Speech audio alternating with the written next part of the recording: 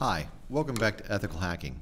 For this lab, we're going to look at the basics of reconnaissance, scanning, gaining access, maintaining access, and covering our tracks. Scanning and gaining access will be the focus of this lesson, as we'll be really have no use for reconnaissance. We're in a lab right now, and we know that our lab is where the system is. And the reason we're scanning it and what's on it is, well, because it's in our lab and it's a security lab. The scanning's where we'll start, I've set up a system. It should have these ports open. So let's look at how to scan a network and uh, scan for those ports. First thing I'm going to do is go ahead and bring up my window here and do an nmap dash in dash dash open. We'll look for those ports. We a dash p for ports. Those ports, and then my network. I'm on the 192.168.1.0 network, and I'll press enter and see how this goes. Now Nmap's going through, doing its thing, looking for any hosts that have all those ports open. Now I see we've got one here. We've got 205 has a couple ports open. A few others have a few ports open. I'll look down. Well, I've got two of the ports open on this one. And that's actually probably the one I want. Two remote access ports. One's Telnet and the other is 33A9. Uh, for the test, we'll actually have four ports open and we'll have to look for all four ports. But in today's lab, we only have two ports open, so we can see this is the IP address. It's 1.19. So now next I'm going to move over, and I want to gain access to the system. So I'm, i need to know a username in that system that I'm going to scan for. So if I want to scan, I can of course pick a user list and go down the user list and scan every user with every password.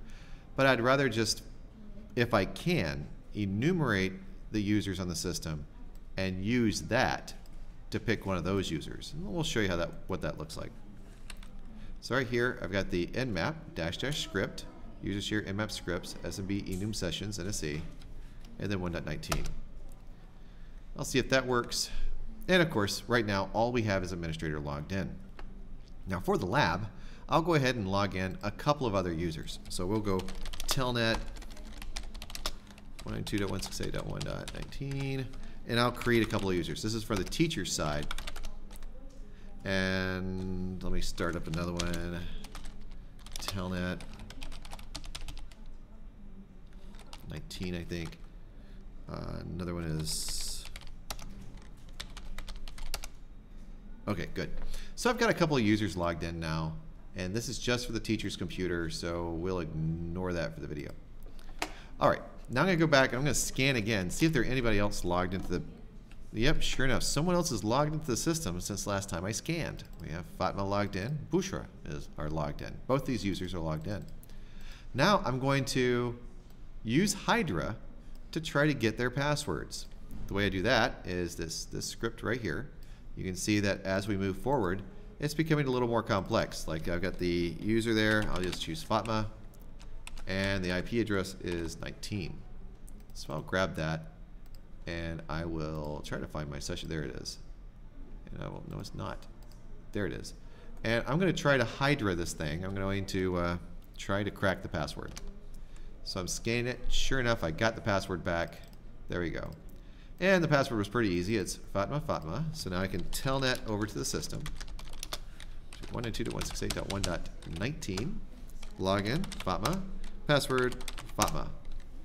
So now I've logged in. Now, once I enter the username password at, under my telnet, I need to find out what other users are in the system. So I'm going to go ahead and type net user. When I do that, I can see I've got a bunch of different people on here that I may want to log in as. So I'm going to use those accounts on my next step for cracking a password and then doing remote access.